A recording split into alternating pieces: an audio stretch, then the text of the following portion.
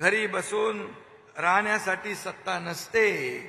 ही सत्ता लोकांच्या दारादारात दारात घरा घरात जाऊन राबवण्यासाठी असते. आदरणीय पवार साहेबांनी त्यांच्या पुस्तकामध्ये लिहून टाकलेलं आहे. त्यामुळे घरी बसणाऱ्यांना जनता घरी बसवून टाकते. देणाऱ्याने देत जावे घेणाऱ्याने घेत जावे घेता घेता देणाऱ्याचे हात घ्यावे. मला मुख्यमंत्री आणि ते उपमुख्यमंत्री स्वतःला कधीच समजत नाही. मी त्यांना उपमुख्यमंत्री म्हणून समजत नाही. छत्रपती शिवाजी महाराज की जय भवानी.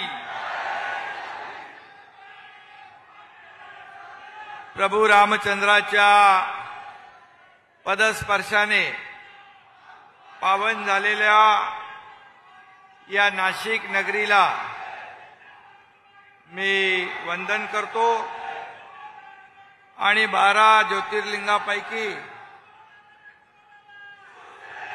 एक त्र्यंबकेश्वर. अरे बसा खाली. सप्तशृंगी देवीला देखील वंदन करतो. वीर सावरकर अनंत कानेरे लोकमान्य टिळक यांना देखील विनम्र अभिवादन करतो. आणि नाशिक येथे शासन आपल्या दारी या अभिनव आणि लोकाभिमुख कार्यक्रमाला उपस्थित राज्याचे लोकप्रिय उपमुख्यमंत्री देवेंद्र फडणवीसजी आमचे आदरणीय उपमुख्यमंत्री अजितदादा पवारजी केंद्रीय मंत्री भारतीताई पवार पालकमंत्री दादाजी भुसे, अन्न व नागरी पुरवठा मंत्री छगनराव भुजबलजी ग्रामविकास मंत्री गिरीश महाजनजी उद्योग मंत्री उदय सामंजे आदरणीय उपसभापती नीलमताई गोरेजी नरहरी झिरवळजी हेमंत गोडसे, आमदार सुहास कांदे, आमदार किशोर दराडे, आमदार माणिकराव कोकाटे, आमदार देवयानी फरांदे, आमदार सीमा हिरे, आमदार दिलीप बोरसे, दिलीपराव बनकर, मोहम्मद खलीफ डॉक्टर राहुल आहेर नितीन पवार सुहास कांदे ॲड राहुल ढिकले हिरामन खोसकर विभागीय आयुक्त राधाकृष्ण गमे आणि जिल्हाधिकारी गंगाधरन भाग्यश्री बनायत आशिमा मित्तल व्यासपीठावरील सर्व सन्माननीय मान्यवर उपस्थित सर्व सरपंच आणि अगदी मंडपाच्या बाहेर पण सगळीकडेच उपस्थित नाशिक बां नाशिककर बांधव भगिनी आणि पत्रकार मित्रांनो. खरं म्हणजे मी आपलं मनापासून स्वागत करतो. एवढ्या मोठ्या संख्येने आपण या शासन आपल्या दारी या कार्यक्रमाला उपस्थित झाला. पालकमंत्री आणि त्यांची टीम जिल्हाधिकारी आणि सर्वांनी मिळून अतिशय चांगलं आयोजन या कार्यक्रमाचं केलेलं आहे. त्याबद्दल आयोजकांचं देखील मी मनापासून स्वागत करतो मनापासून अभिनंदन करतो. खरं म्हणजे खानदेशामधला शासन हा आपल्या दारी हा तिसरा कार्यक्रम आहे.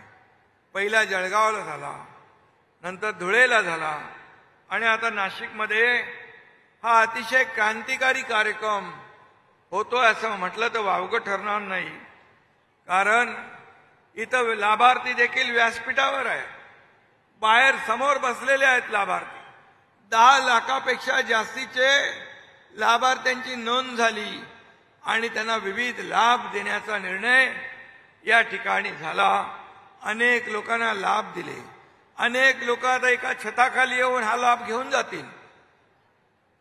एकाच छताखाली शासनाने घेतलेले निर्णय सुरू केलेल्या योजना त्याला लागणारी कागदपत्र त्याला लागणारी प्रमाणपत्र हे सगळी एका छताखाली देण्याचा ऐतिहासिक निर्णय आपल्या महायुती सरकारने घेतला. मी आणि देवेंद्रजी सुरुवातीला आम्ही दोघंच होतो. परंतु त्या काळात आम्ही ठरवलं की लोकांना खेटे मारायला लागता कामा नये चक्रा मारायला लागता कामा नये. सरकारी काम आणि सहा महिने थांब ही संकल्पना मोडीत काढायची आहे. आणि म्हणून हा कार्यक्रम आम्ही आयोजित केला आणि या कार्यक्रमाला उदंड असा प्रतिसाद या ठिकाणी लाभताना पाहतोय. अनेक जिल्ह्यात तर जाऊ द्या पण गडचिरोली सारख्या जिल्ह्यामध्ये देखील आम्ही पाहिलं. हजारोंच्या संख्येने त्या ठिकाणी लाभार्थी उपस्थित झाले लाभ घेऊन गेले. त्यांच्या चेहऱ्यावरचा आनंद जो आहे हा आनंद बरच काही बोलून जात होता.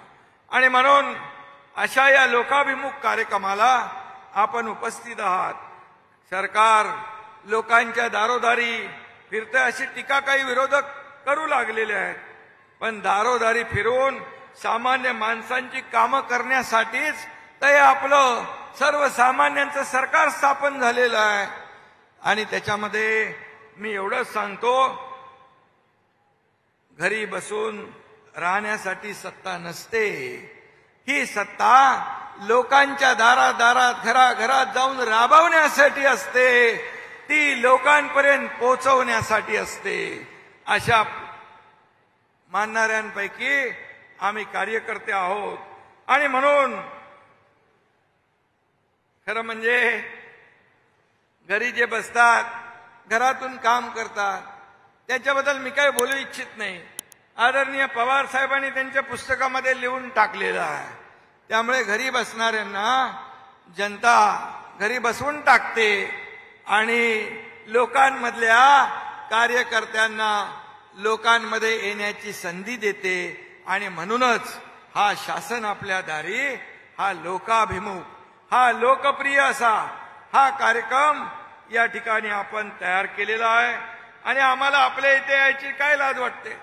बाळासाहेब देखील म्हणायचे पंच्याण्णव नव्याण्णवच्या युती सरकारमध्ये मुख्यमंत्री असू द्या मंत्री असू द्या त्यांनी लोकांना सामोरं गेलं पाहिजे. लोकांना भेटलं पाहिजे. लोकांच्या अडीअडचणी समजून घेतल्या पाहिजे. अशा प्रकारची भूमिका बाळासाहेबांची होती.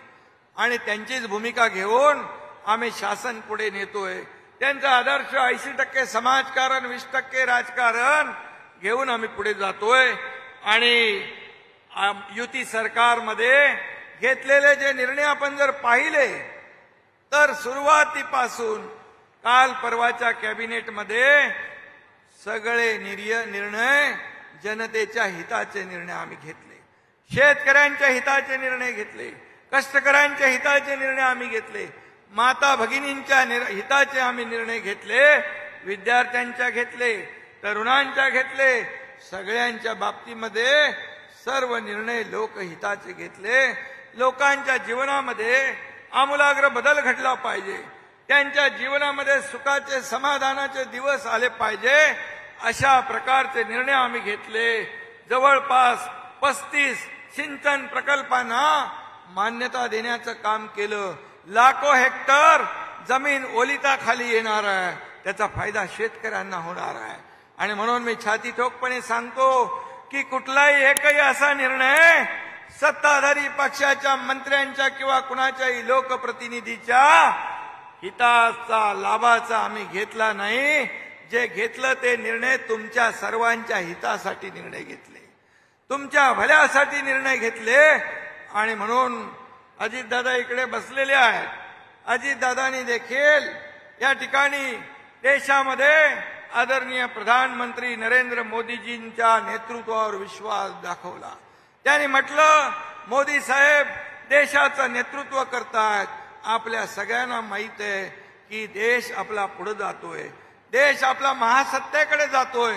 काल चांद्रयान तीनचं यशस्वी उड्डाण झालं मोदी साहेबांच्या मार्गदर्शनाखाली. आज ते जिकडे जात आहे तिकडे त्यांचं जल्लोषात स्वागत होतंय. फ्रान्समध्ये देखील त्यांना फ्रान्स देशाचा सर्वोच्च पुरस्कार प्राप्त झाला.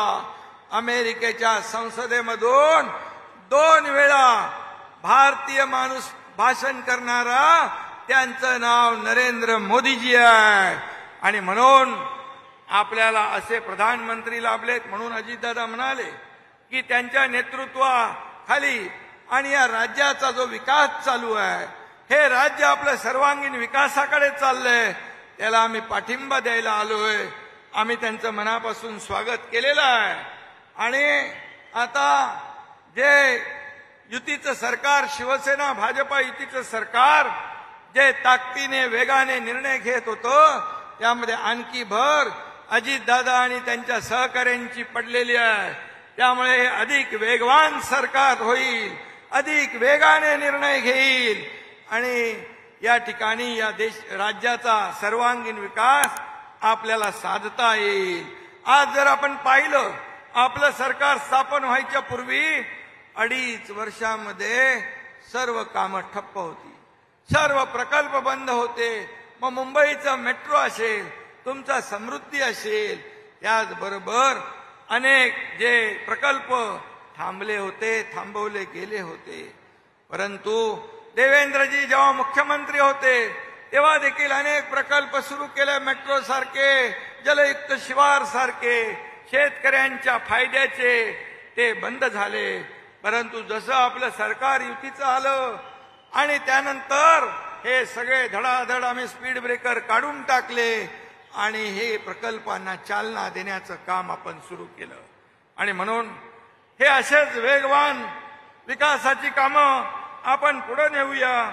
आणि खऱ्या अर्थाने आज आपण पाहिलं तर शेतकऱ्यांना कष्टकऱ्यांना नागरिकांना कुठलाही त्रास होऊ नये ही भूमिका आम्ही घेतलेली आहे.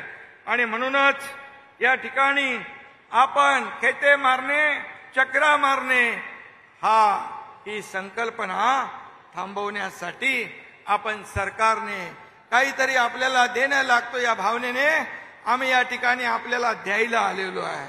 मगाशी देवेंद्रजींनी सांगितलं यावर देखील काही लोकांना पोटदुखी आहे. कशाला बोलवतात एवढे लोक? कशासाठी येतात? अरे कशासाठी येतात? हे बघा उघड्या डोळ्यांनी. मीडियावाल्यांनी हे चित्र जे आहे शेवटपर्यंत जरा त्यांना दाखवा. वस्तुस्थिती काय आहे? या ठिकाणी अशा प्रकारची परिस्थिती राज्यामध्ये ऐतिहासिक जो निर्णय आपण घेतलाय पहिल्यांदा लोक येतात लाभ घेऊन जातात. आणि म्हणून विंदा करंदीकरांची एक कविता आहे. ते म्हणतात की देत जाणाऱ्याने देत जावे देणाऱ्याने देत जावे घेणाऱ्याने घेत जावे. घेता घेता देणाऱ्याचे हात घ्यावे. हात घ्यावे म्हणजे हात काढून नव्हे घ्यावे की देणाऱ्याची जी वृत्ती आहे जी भावना आहे ती घ्यावी. आणि म्हणून आम्ही आतापर्यंत देतच आलेलो आहे. जे घेणाऱ्यांना कसं कळेल? जे फक्त घ्यायचं माहीत होतं त्यांना हे देण्याची बात कशी कळेल? आणि त्यामुळे कुणी कितीही आरोप केले तरी सुद्धा आमचं काम थांबणार नाही. आपण पाहिलं मंत्रिमंडळाच्या बाबतीत त्याचबरोबर अजितदादांच्या बरोबर आलेल्या खाते वाटपाच्या बाबतीत खूप चर्चा मीडियामध्ये रंगल्या. परंतु शासन आपल्या दारी हा कार्यक्रम थांबला नाही. हा कार्यक्रम तसाच सुरू होता. याचं कारण आम्ही ठरवलेलं आहे. या राज्यातल्या लाखो करोडो जनतेला जे त्यांचे अधिकार आहेत त्यांच्यासाठी ज्या योजना केलेल्या आहेत या योजना त्यांच्यापर्यंत पोहोचल्या पाहिजे. यासाठी बिलकुल काही जरी अडथळे आले तरी सुद्धा लोकांची बांधिलकी आमच्याशी आहे. अशिव आपल्या सरकारची नाळ आपल्याशी जुळलेली आहे. त्यामुळे हे कार्यक्रम कायम सुरूच राहतील. आणि काही लोकांना वाटतं की आता तीन जण एकत्र आलेत. कसं होणार? आम्ही सगळे समजूतदार आहोत. मी आणि देवेंद्रजी गेले अनेक वर्षाचे मित्र आहोत. त्यांनी पाच वर्ष यशस्वी मुख्यमंत्री म्हणून काम केले. त्यांच्या मंत्रिमंडळात मी देखील होतो. आता मी मुख्यमंत्री म्हणून काम करतोय. उपमुख्यमंत्री म्हणून ते काम करतायत. आणि दुसरे उपमुख्यमंत्री अजितदादा आपल्या सरकारमध्ये आलेत. मी खरंच सांगतो देवेंद्रजींचं मन फार मोठं आहे. हा मोठ्या मनाचा माणूस आहे. आणि ती खरं म्हणजे मुख्यमंत्री म्हणून राहिलेला माणूस मला मुख्यमंत्री आणि ते उपमुख्यमंत्री स्वतःला कधीच समजत नाही. मी त्यांना उपमुख्यमंत्री म्हणून समजत नाही. माझे सहकारी माझे सोबती आणि त्यांनी असलेला त्यांचा अनुभव या राज्यासाठी वापरण्याचा आम्ही ठरवलेला आहे. त्यामुळे आणि अजितदादा देखील उपमुख्यमंत्री झाले ते स्वतः उपमुख्यमंत्री असताना त्यांनी हसतमुखाने दुसरा उपमुख्यमंत्री देखील स्वीकारला. त्यांचा देखील त्यांनी आदर केला.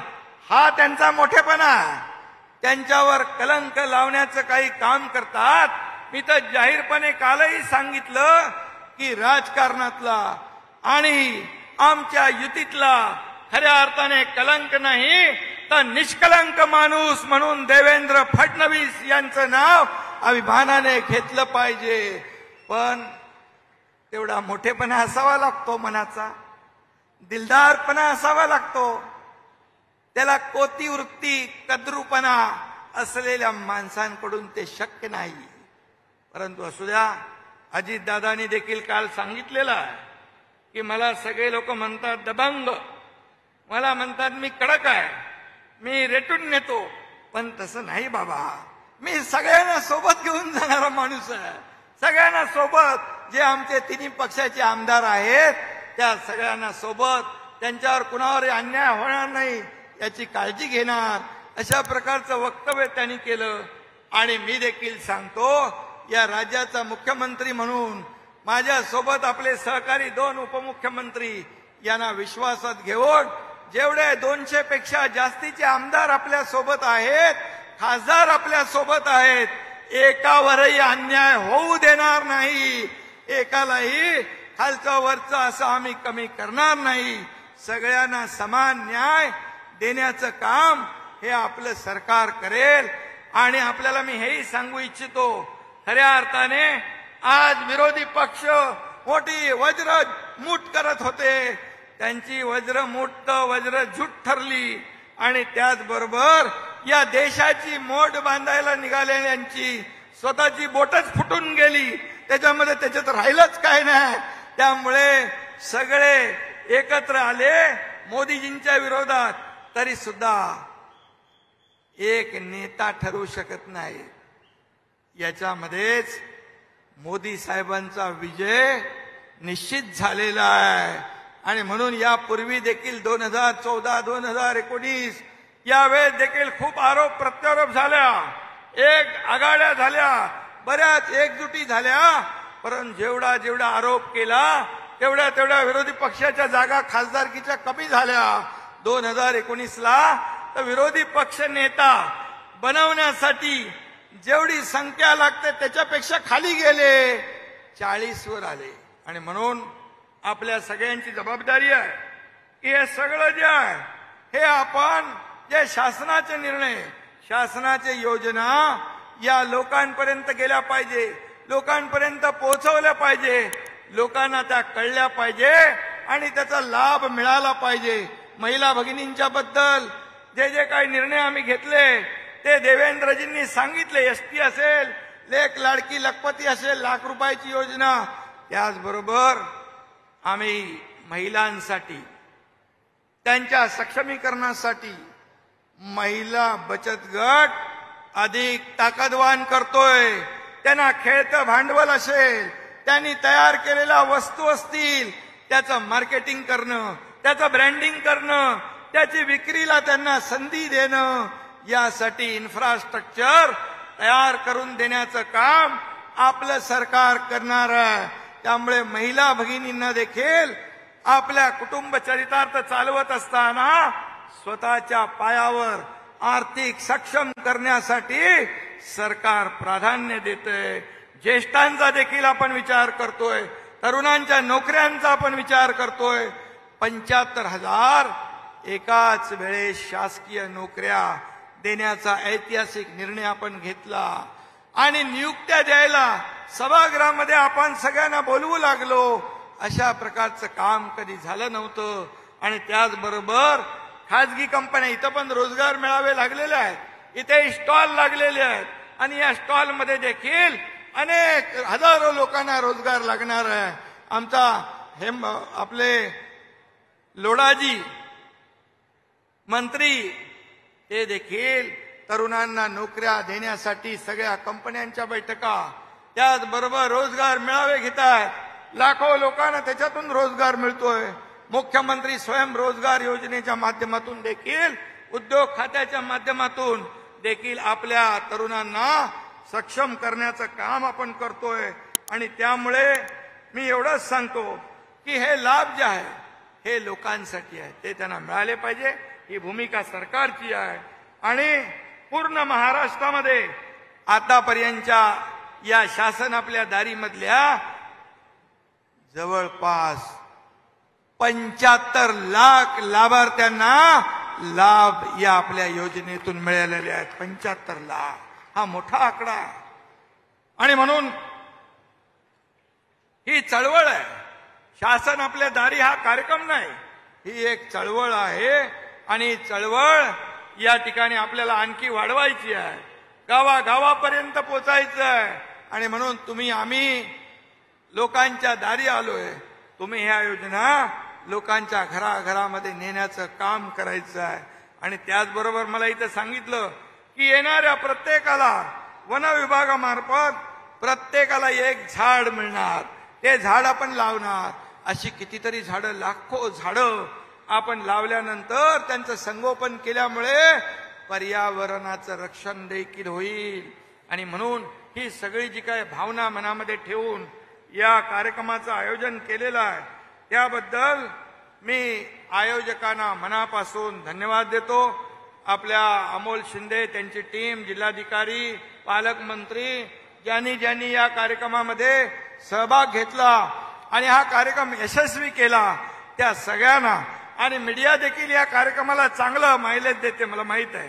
धन्यवाद. जेवढा तुम्ही अशा कार्यक्रमाला दाखवाल तुम्ही चांगले प्रकल्प लोकांच्या हिताचे दाखवाल तेवढा तुमचा टीआरपी वाढत जाईल.